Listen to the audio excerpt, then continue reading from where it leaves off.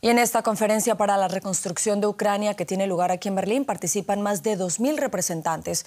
Según el Banco Mundial, la reconstrucción requerirá más de 480 mil millones de dólares en plazo de 10 años, con notables necesidades en sectores como vivienda, transporte, comercio, comercio agricultura y energía. Aunque la conferencia busca obtener financiación, otra de las prioridades es garantizar el suministro de energía. La ciudad de Bozshansk, como tantas otras en las líneas del frente en los últimos meses, reducida a cenizas tras el continuo bombardeo ruso en una guerra sin tregua. Durante más de dos años de conflicto, Ucrania ha perdido el 10% de su vivienda. Granjas llenas de cráteres y minas, puentes, estaciones eléctricas, plantas de energía y presas destruidas por misiles. El Banco Mundial estima que reconstruir Ucrania costará 486 mil millones de dólares en 10 años, 82 mil millones para vivienda, 73 mil millones para transporte, 68 mil millones para comercio e industria, 58 mil millones para agricultura y casi 50 mil millones para energía.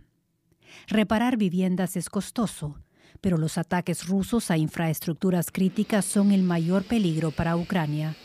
Las centrales eléctricas destruidas en ciudades como Kharkiv causan apagones, cortes de energía en hospitales y daños al suministro de agua.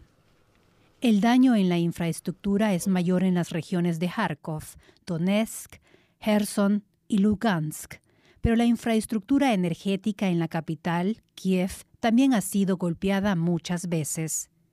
La presión en la conferencia de esta semana recae en los países donantes para financiar el futuro de Ucrania. Pero en el presente, algunos creen que más atención y dinero deben enfocarse en el suministro de energía. Los ucranianos enfrentan otro invierno duro con apagones y escasez de calefacción. Antes de avanzar, la gente aquí tiene que sobrevivir cada día.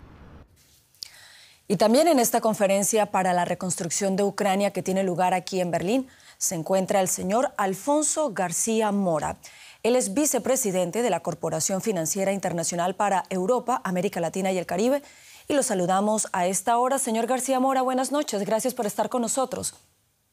¿Qué tal? Buenas noches. Cuéntenos qué tanto se ha avanzado en esta conferencia en los objetivos de concretar la ayuda que necesita Ucrania para la reconstrucción. Bueno, yo creo que en esta conferencia se está avanzando significativamente en reconocer la relevancia que el sector privado va a tener en la reconstrucción de Ucrania. Como usted bien comentaba anteriormente, las estimaciones que el Grupo Banco Mundial establece o ha realizado es que se necesitarán cerca de 500 billones de dólares para reconstruir Ucrania y obviamente eso no puede salir del presupuesto público, sino que va a necesitar atraer inversión privada e inversores de diferentes lugares del mundo que permitan y que ayuden a reconstruir el país. En esta conferencia se está precisamente discutiendo eh, la mejor forma y qué es necesario para movilizar ese capital privado cuáles son las reformas económicas que hay que hacer, cuáles son los sectores en los cuales hay más apetito para invertir y, en definitiva, cómo las diferentes organizaciones e instituciones internacionales pueden cooperar para hacer esto posible.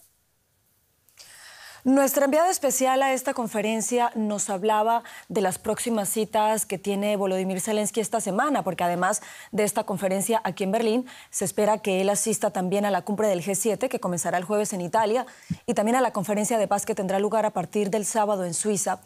¿Qué tanto se puede esperar de toda esta ofensiva diplomática, sobre todo teniendo en cuenta que no habrá presencia rusa ni de aliados clave como China? Bueno, yo creo que hay, son tres estados diferentes de conversación y, digamos, de, análisis y de decisión. Eh, lo que estamos discutiendo en Berlín, una conferencia que ha traído más de 3.000 personas, es cómo eh, el sector privado puede seguir trabajando con el sector público y con las instituciones internacionales para eh, invertir en Ucrania. Nosotros anunciábamos hoy, el Grupo Banco Mundial, eh, la inversión en diferentes eh, ámbitos del sector telecomunicaciones, del sector energía, del sector transporte, que permitan reconstruir el país de la mejor forma posible. En el G7 habrá un nuevo apoyo, percibimos, esperamos que hay un nuevo apoyo, hay con nuevas soluciones y compromiso por parte de los siete países industrializados más importantes del mundo para la reconstrucción de Ucrania y para buscar soluciones eh, que permitan una eh, salida más eh, rápida y una reconstrucción más, más rápida. Y el tercer ámbito que usted comentaba, la conferencia de paz, ahí obviamente se discutirán de cosas que van más allá de la presión del Banco Mundial, pero que obviamente estará vinculado a cómo conseguir un proceso de paz que termine con esta barbarie lo más rápido posible. Pues por supuesto estaremos muy atentos a todas estas conferencias y cumbres. Señor Alfonso García Mora, vicepresidente de la Corporación Financiera Internacional para Europa, América Latina y el Caribe, muchas gracias por habernos acompañado. Gracias a ustedes. Buenas noches.